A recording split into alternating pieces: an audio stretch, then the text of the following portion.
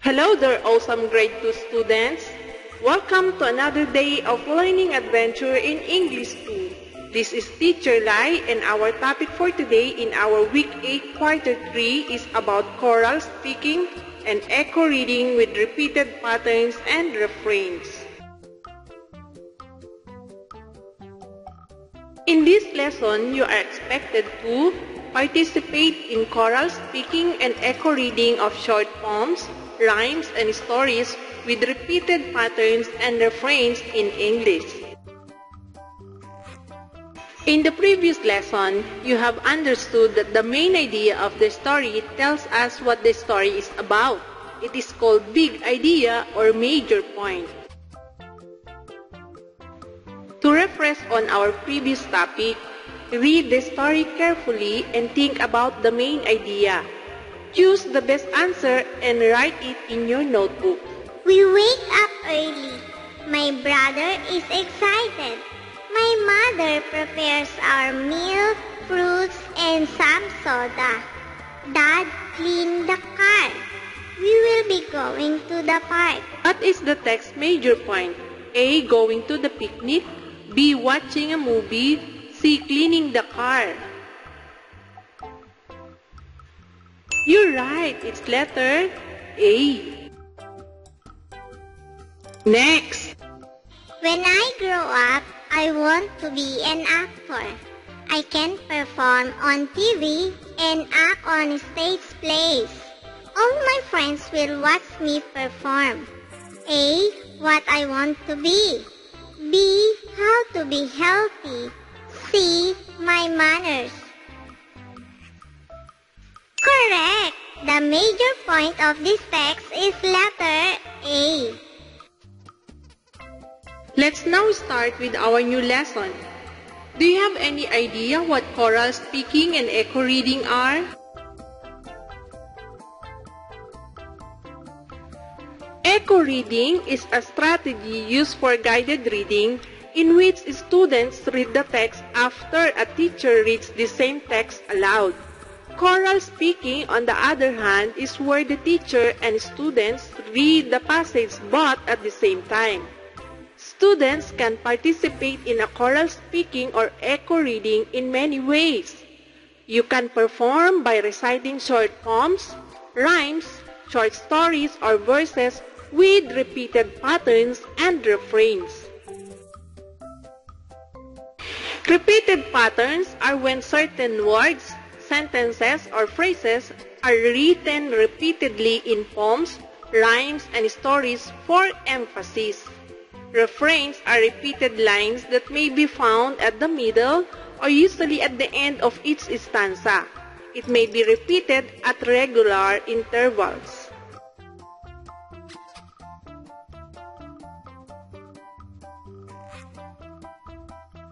Read the examples below.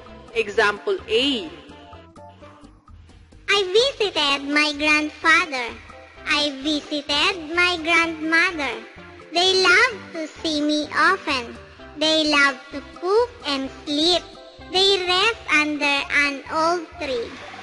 Example B. I visit them always, as they love to see me often. I love my grandparents. They always cook and sleep. I bring their favorite food. I love my grandparents. Which of the examples shows repeated patterns? Which one presents refrains? Example A is a poem that shows repeated patterns. Two patterns are shown in the given poem. I visited my and the word they. Meanwhile, example B shows the use of refrain. The last line in each stanza shows the refrain of the poem. Now let's test how well you understood the lesson. Let's answer our activity task number 1.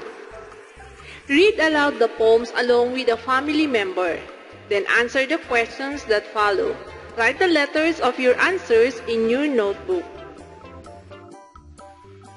The moon. The moon shines in the dark. The moon is half. The moon is tainted. So is the human heart. What is being repeated in the poem? A. Human. B. Moon. C. Heart. What's your answer? You're right. Letter B. The moon. Number 2. What type of pattern is used in the poem? Letter A. Repetitive pattern. B. Refrain. Very good.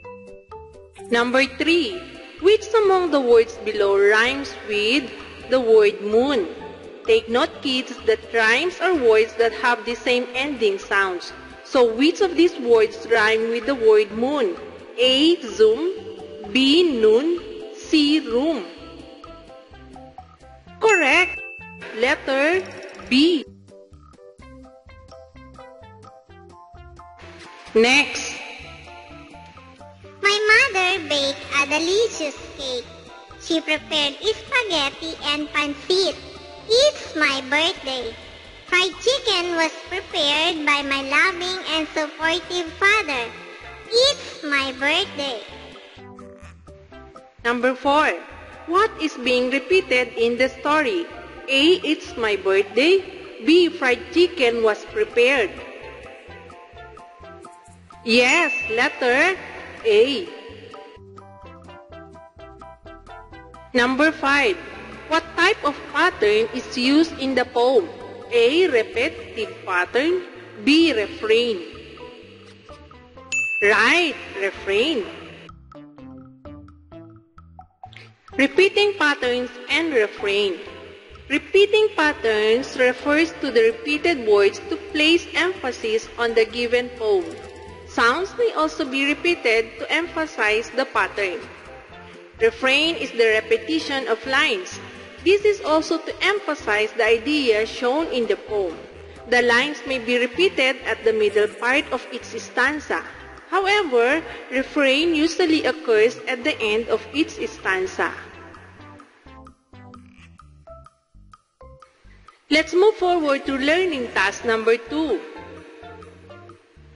Read the poems or short stories carefully, then answer the questions that follow. Write the letters of your answers in your notebook. The stars shine bright at night. The stars bring joy to my life. The stars guide us in our lives. They make us happy at night. What is being repeated in the story? A. Bright at night. B. The stars. Perfect. Letter B. The stars. Number 2. What type of pattern is used in the poem? A. Repetitive pattern. B. Refrain. Correct. It's repetitive pattern. Next.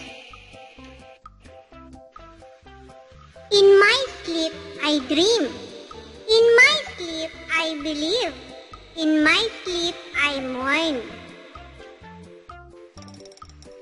Number 3. What is the phrase that is being repeated? A. I dream. B. In my sleep. Cool. Letter B. Number 4. What pattern technique is used in the text? A. Repetitive pattern. B. Refrain. Bravo! It's letter B. Next. Twinkle, twinkle, little star. Twinkle, twinkle, little star. How I wonder what you are. Up above the world so high. Like a diamond in the sky. Twinkle, twinkle, little star. How I wonder what you are. Number 5. What is being repeated in the rhyme? A. Like a diamond in the sky. B. Twinkle, twinkle, little star. You're right. Letter B. We're now in learning task number 3. Read the poem below. Ask your parents, guardians, or siblings to read it with you or you may read it after me.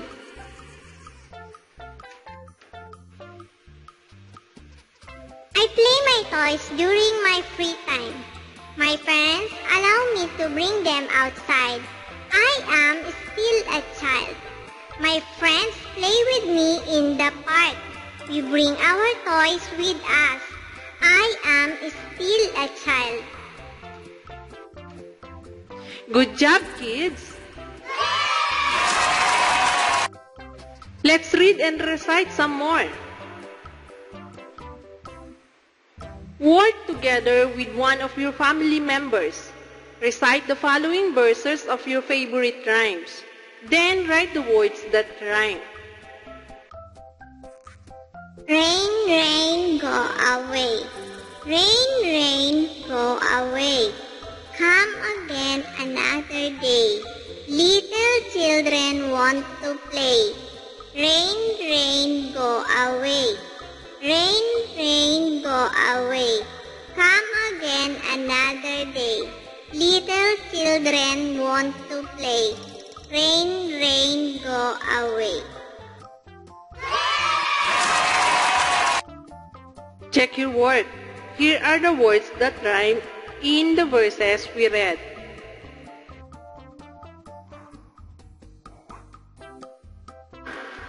Participate in the choral speech.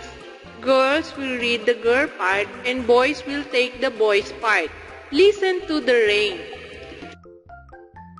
Peter Patter, Peter Patter, listen to the rain. Splash, splash, splash, splash on the window pane. Tap, tap, tap, tap, dancing on the leaves. Drip, drip, drip, drip, falling on the leaves. Tap, tap, Splash, splash, then drip, drip, drip, drip again. Peter Patter, Peter Patter, don't you like to hear it rain?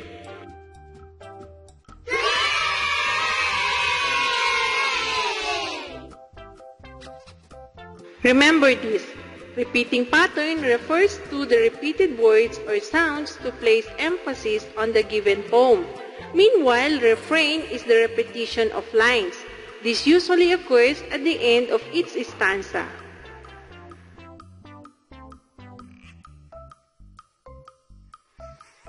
Congrats kids!